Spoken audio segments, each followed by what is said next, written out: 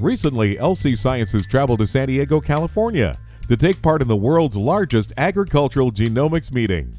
The Plant and Animal Genomes Conference is designed to provide a forum on recent developments and future plans for plant and animal genome projects. Consisting of technical presentations, poster sessions, exhibits, and workshops, the conference is an excellent opportunity to exchange ideas and applications on this internationally important project. The conference brings together over 3,000 leading genetic scientists and researchers in plant and animal research, and over 130 exhibits, 150 workshops, 1,000 posters, and 1,800 abstracts.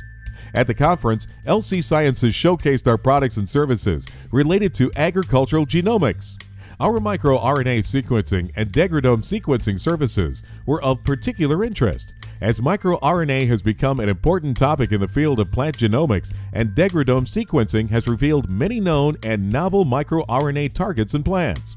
This year's scientific program included over 30 posters and workshops focusing on microRNA research and agricultural genomics. This year's conference attendees learned that microRNAs regulate many aspects of plant development, including leaf development, floral development, vegetative phase change, shoot and root development, and vascular development. MicroRNAs are involved in environmental stress responses, including a variety of biotic and abiotic environmental stresses.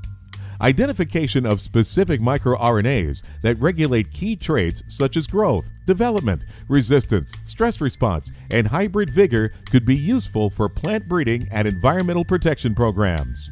Several of LC Sciences' customers presented their research at the conference. Differential expression in microRNAs in skeletal muscle of rainbow trout under the influence of estrogen. Identification of novel and known microRNAs and their targets in pinus and eucalyptus globulus. Genome-wide identification of the common bean small RNAome using small RNA and degradome sequencing identification of mitochondrial microRNAs related to egg deterioration caused by post-ovulatory aging in rainbow trout, non-invasive biomarkers of embryo development in cattle, expression profiling of microRNAs and their target genes under salt stress in the halophyte smooth cordgrass. We hope to see you at next year's conference.